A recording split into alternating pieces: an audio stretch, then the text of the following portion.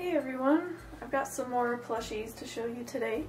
Uh, as you can see it's kind of a mishmash video with some different plush lines, um, but there are a few that I hadn't shown yet so I thought that I'd just put them together. Uh, so let's just jump right in. Uh, over on the right here I've got a squishable plush and he is like a coffee or an espresso. Um, super cute. I got this guy, I want to say for Christmas a year or two ago, but I don't remember. Um, but he somehow missed my other videos. Um, so as you can see, he's got a mint green body, or cup I should say, uh, really soft faux fur, and then the, the lining of the cup and the handle, which you can put your hand in, um, is a darker like teal green. He has cute little eyes, little mouth, a little embroidered kind of like blush or freckles.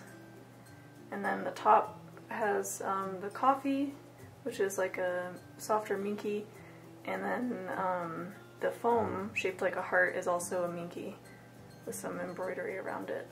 So he's pretty cute. He's one of the um, minis. They have a regular size and the mini. He's a mini. Uh, I'll go to these guys on the left now. Um, these are Squishmallow plush.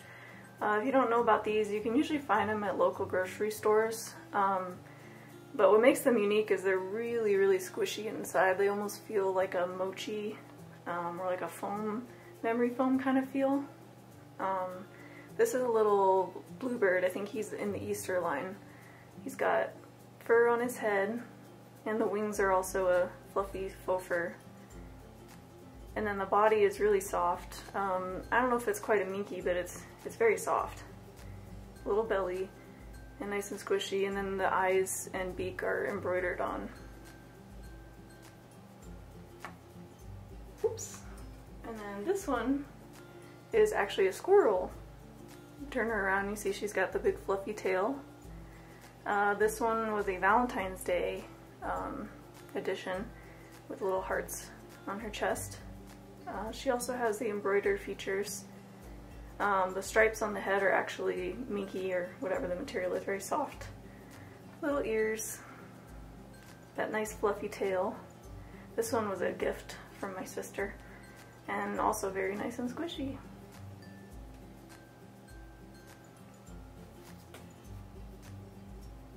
And then in the middle, uh, these are a couple, whoops,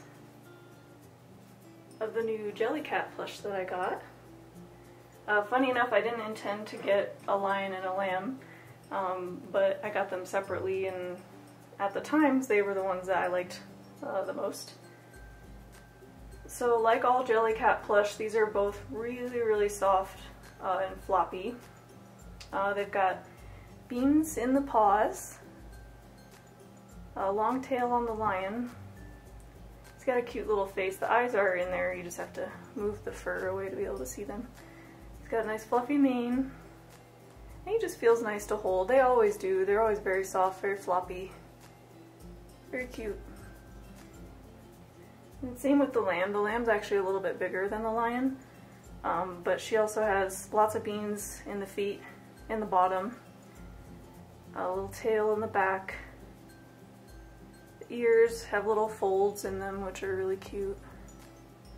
And her face is also soft um, and sweet looking with the little eyes. Again, super soft, super floppy, just nice to hold and cuddle. I love the Jellycat for uh, plush for this reason.